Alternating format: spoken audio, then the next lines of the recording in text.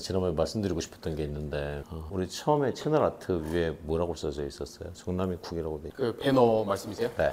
네, 저거 처음부터 걸어놨던 건 아니고 유튜브 하면서 한 중간 정도에 처음에는 없어요. 또 댓글 저희가 말씀드리려고 그랬는데 아 그래요? 방주주기 채널이 점점 댓글이 온다지. 브랜딩 되려고 내가 전문가라는 걸 강조하라고 얘기를 했었는데 네네. 그래서 우리 전문가 채널로 가니까 처음에는 잘하는 그러니까 그런 사람인가 보다라는 느낌이 약간 백종원 느낌 같은 걸로 갖고. 접근했다가 19년 전문가 라는 이게 딱 쓰는 순간부터 말 걸기가 좀 힘들어지지 않았을까 격이 생기지 않 전문가는 맞는데 그럼 좀 바꿔야 될까요 컨셉을?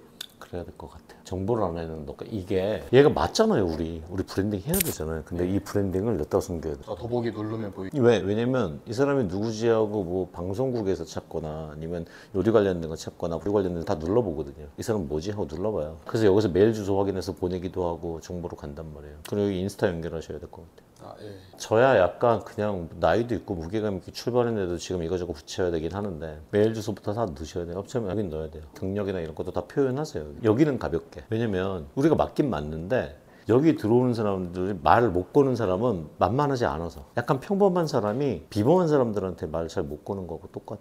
그 제가 댓글에 정말 전문성 있게 내주거나 친절하긴 친절한데 딱딱 맞는 말만 할 때 사람들이 말을 못, 못 꺼내겠는 거. 무게감이 생긴 거라니까.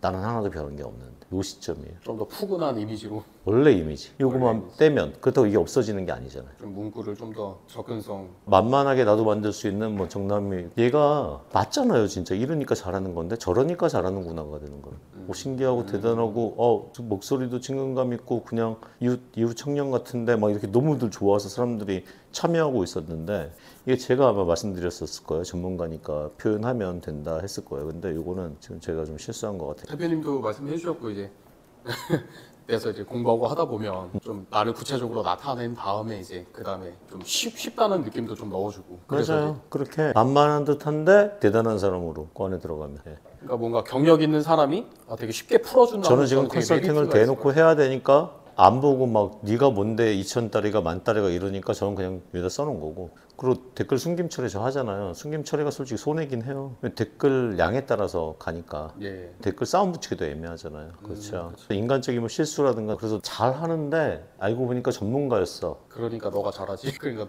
너만 할 수 있는 거 아니야? 좀 더 친근감 있게, 예. 푸, 푸근하게. 이때 딱 보고 이거 말씀드리고 싶었는데 시간이 아, 지났는데 예, 예. 이게 그 시점일 거예요